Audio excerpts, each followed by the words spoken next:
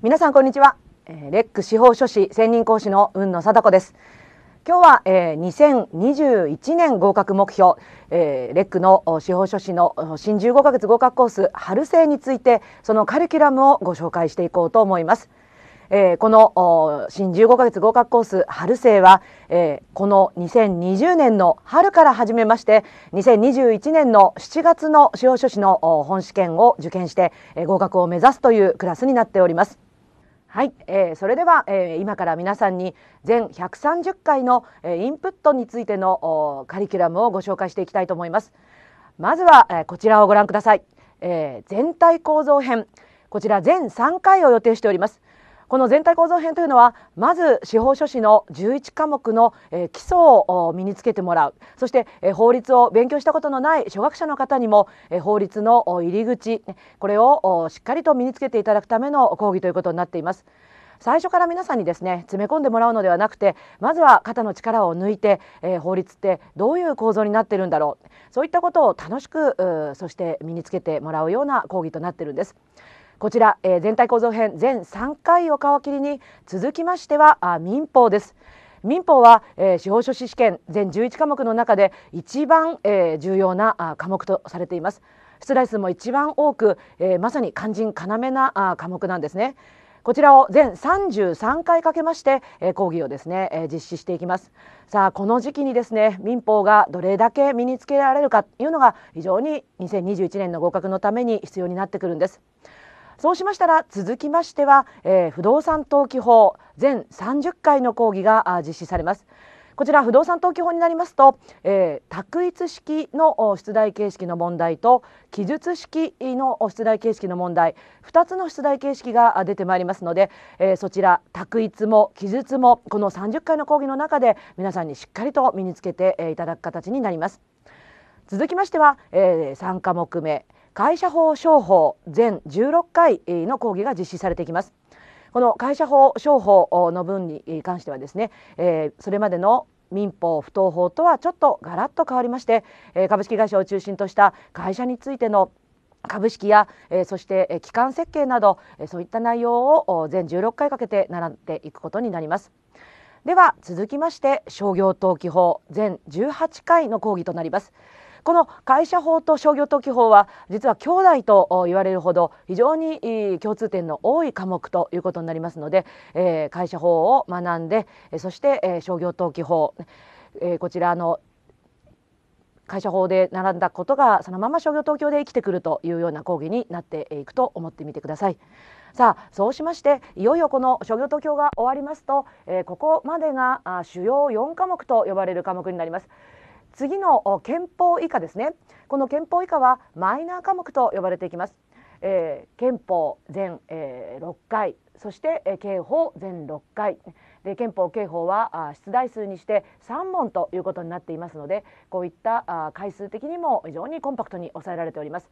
そしてそれが終わりましたらあ次はあ民事訴訟法民事執行法民事保全法全13回です。えー、こちらの3科目からは全、えー、7題の択一問題が出題されてきます。ですから 憲法刑法よりかは少しボリュームが多くなっているということなんです。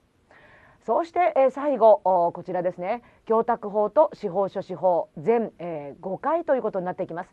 供託法は3問の出題。司法書士法は1問の出題です。えー、こちらが最後の科目ということになりますので皆さん気合を入れてですねぜひ聞いていただきたいなというふうに考えております。さあそれではこの全体構造編に始まりまして全130回のインプット講義こちらをしっかりとですね皆さん一回も休むことなく受け切っていただいて合格のために必要な知識が身についていくと、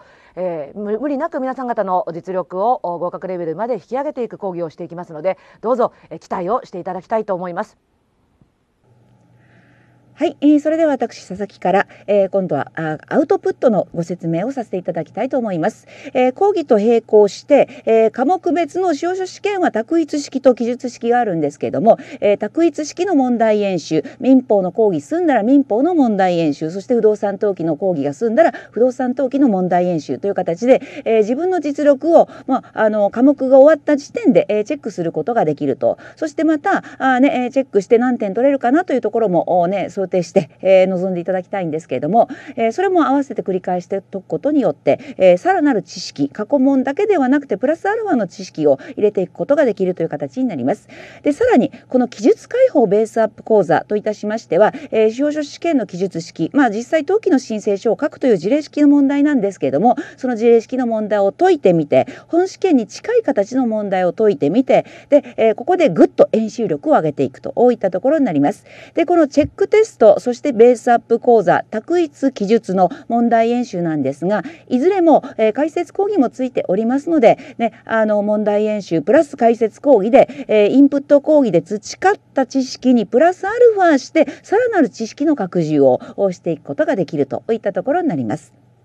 レック専任講師の森山です。私の方からは直前期についてお話をしていきたいと思います。レックの15ヶ月合格講座3月までで一通りインプットそれからアウトプットの講座がありますが直前期の方ではこちらの模擬テストやそれから答練ですねこちらの方を用意しております。で皆さんが直前期にやるべきことは2つあって今までの知識の総復習これを頭に詰め込む時期これが3ヶ月間どんだけですね今までの勉強を復習できたかこれが合否を分ける一つのポイントになります。でもう一つが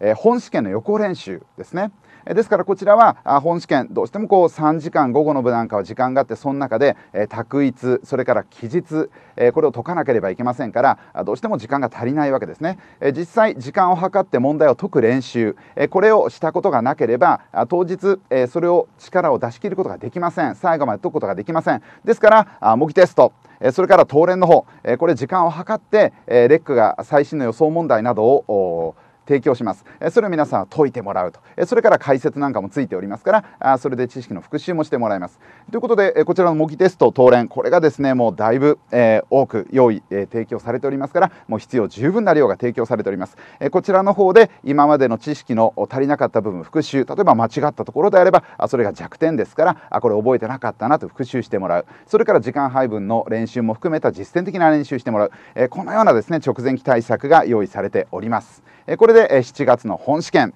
実践的な力をつけて合格してもらうこのような流れになっております。